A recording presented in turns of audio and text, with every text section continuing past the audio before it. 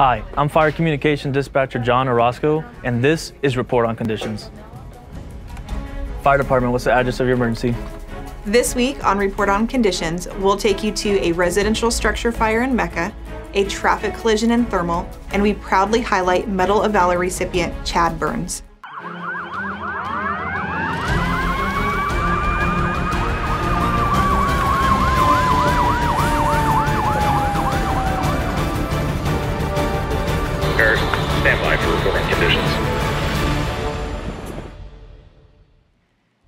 And thanks for joining CAL FIRE, Riverside County Fire Department's report on conditions. I'm April Newman. Last week, May 16th through May 22nd, our firefighters responded to 3,476 calls for service. Included in those calls were 2,685 medical emergencies and 143 fire related calls. Of the fire calls, 27 were vegetation fires and 13 were structure fires. Let's take a deeper look at a few highlighted incidents from this past week. On Wednesday, May 18th, firefighters responded to reports of a residential structure fire located at the 91,000 block of 6th Street within the unincorporated area of Mecca. The first on-scene unit reported an active fire from a semi-trailer to the rear of the property, with threats of spreading to an additional trailer, outbuilding, and power pole nearby. Thanks to quick thinking and efficient work, firefighters were able to stop the fire from spreading to the nearby residents. However, due to fire damage on the power pole, the power needed to be disconnected to the saved residents. No civilian or firefighter injuries were reported. Again on Wednesday, in the city of Lake Elsinore, firefighters from Lakeland Fire Station 11 and McVicker Park Fire Station 85 responded to a motorcycle accident where the driver hit a bush and was then ejected into a wall. The arriving engine companies provided advanced life support to the patient until they were transported by AMR to a local hospital with major injuries. Riverside County Sheriff's Department oversaw the investigation. In the early morning hours of Saturday, May 21st, firefighters were dispatched to a traffic collision near the intersection of Highway 86 and Avenue 62 in Thermal. The first arriving company officer reported a two vehicle head on collision with two patients requiring extrication with major injuries the crews were able to safely remove both patients without the use of extrication equipment.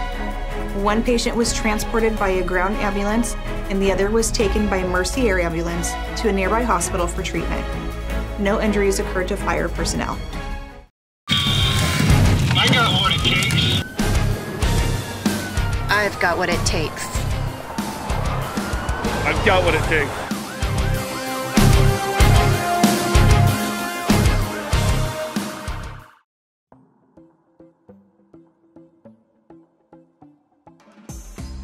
Effective as of Monday, May 23rd, CAL FIRE Riverside County Fire Department Chief Bill Weiser has moved forward with closing six hiking areas throughout Riverside County.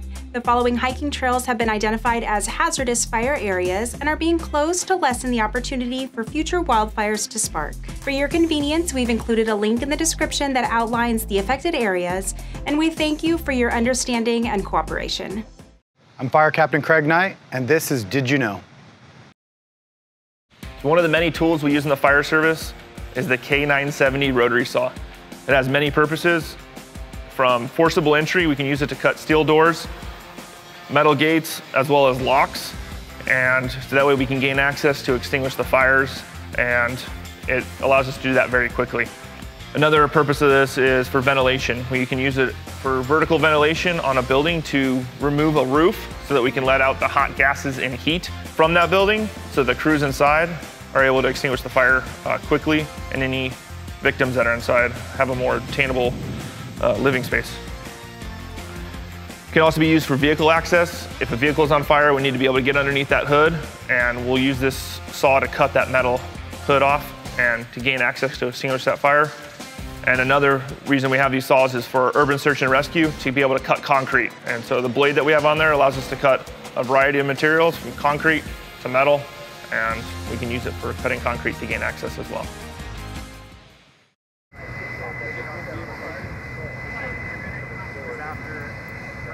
For his valiant efforts during a confined space rescue in Temecula in March of 2020, Firefighter Chief Chad Burns was awarded with the Governor's State Employee Medal of Valor. Let's take a look at his award ceremony in Menifee from this past Wednesday.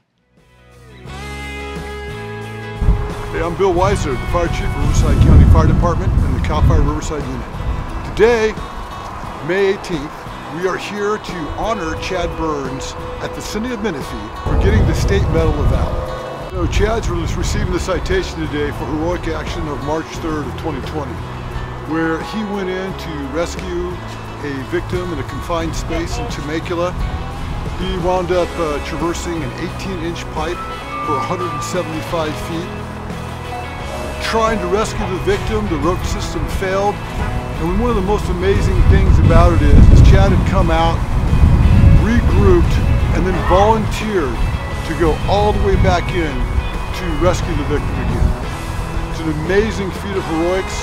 Uh, those uh, conditions are not anything anybody trains for, and what Chad did is simply amazing.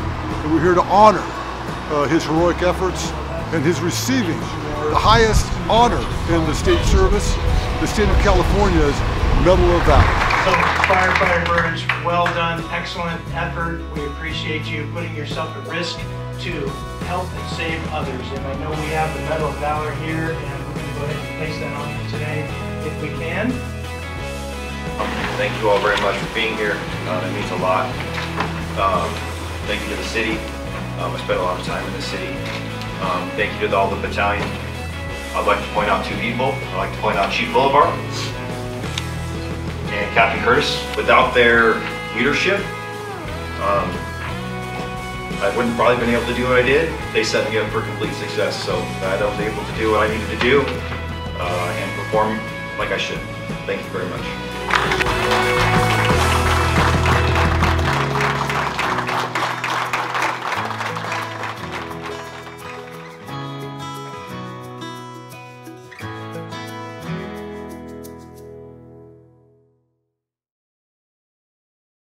This week's shout out goes to Los Pinos Crew 2, which is part of the California Conservation Corps, for receiving the highest score at this year's Wildland Readiness exercise. Let's join Conservationist 1 Aaliyah Cotton and Fire Captain B John Hecker at the Los Pinos Fire Center in Lake Elsinore. Once a year, all of the hand crews in the Riverside unit, we get together to do a Bautista drill or this wildland preparedness drill, um, where we cut line, we do a tool out, we do a fire shelter. Each one of the crew members is asked individual questions. It's essentially a way to test each crew and make sure that they're typed out or that they're prepared to fight fire in a real life situation. The goal of the Bautista drill is to show that a crew is typed out, to make sure that each crew can perform as they would in, in a real life situation. So like take the line construction part for instance. For every member of the crew, which we had 15, uh, you had to cut 15 feet per person and then each of those feet of line has to have a minimum of four feet. It has to be completely down to bare minimum soil, and then it has to be clear of like any brush or loose particles.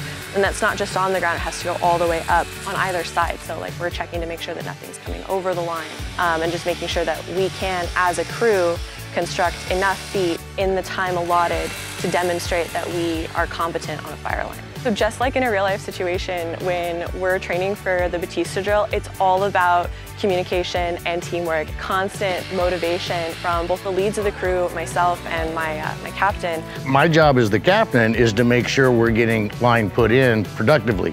So uh, production is, is the thing, because when we go to fires, you gotta be able to cut line and we gotta be able to contain it and crew member needs to know what their job is. So I'm constantly up and down the line telling them where to go, what to do, if they need to do a little more here, a little less here. So it's just, like I said, it's preparation for fire season. So on the tool out, the hike, the line construction, as well as the um, fire shelter deployment, no points missed. Each one of the guys was in step, knew their information, and was exactly uh, how we train to be. So the award that we got, as I understand it, is just from the Riverside unit. So it's given to the captain of our crew, and then the kind of hog crew title is awarded to our crew itself. Like you are a hog crew, you're gonna get down and dirty and do whatever you need to do to, uh, to pass the Bautista drill, to construct good line, to put out a fire.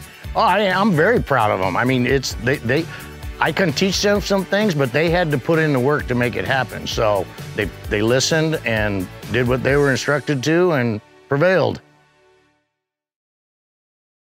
Over this past week, Public Information Officer and Fire Captain Richard Cordova, along with Captain Schutz and Division Chief Lucas Spellman, were assigned to the California Incident Management Team 2, which was sent to New Mexico to aid in the Calf Canyon fire. Let's join Captain Cordova as he interviews Battalion Chief Jefferson Bueller with Kirtland Air Force Base. Hello, I'm Captain Richard Cordova with California Incident Management Team 2, and I'm here with Battalion Chief Bullard. Uh, thank you uh, for joining us today. Uh, can you uh, tell us a little about what you guys are doing here and who you're with? So I'm Jefferson Blair. I'm a battalion chief with Kirtland Air Force Base Fire Department in Albuquerque, New Mexico. And we were deployed up here for an ARF standby assignment to help out the Forest Service doing hot refuels and our support for their heli base here in Angel Fire. Very nice. And I think what a lot of people need to understand is that when we fight major wildland fires like this, it takes a great team to put this together. Not only different fire department agencies, but also dipping into the military and pulling their resources out. So here at uh, Angel Fire Helibase, what's your guys' main function? So we're here to protect the aircraft and the pilots. We're specifically here to do hot refuels as the aircraft come back from their sorties and actually refuel their aircraft before they take back off to do their next mission. I mean, this thing's massive. I mean, yeah. One, how much water is in here and what type of equipment do you guys carry in here? So this is one of our P19s. This is one of our smaller crash trucks. This track, crash truck carries 1,500 gallons of water, 210 gallons of foam, 500 pounds of PKP. So on this aircraft, it's very specialized. It's specifically made for ARF rescue, for aircraft firefighting.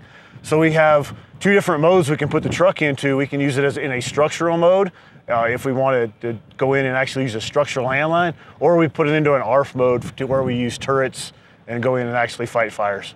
I'd like to thank you. I'm sure the citizens around this area would like to thank you for guys being here.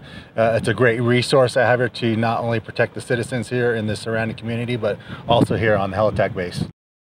To stay up to date on current incidents as they happen in Riverside County, be sure to follow at CAL FIRE RRU on Twitter, Instagram, and Facebook. Did you happen to capture any pictures or videos of our firefighters in action? If so, send them our way at rrupio at fire.ca.gov. On behalf of your CAL FIRE, Riverside County Fire Department, Public Affairs, and Community Education Bureau, I'm April Newman. Thanks for watching.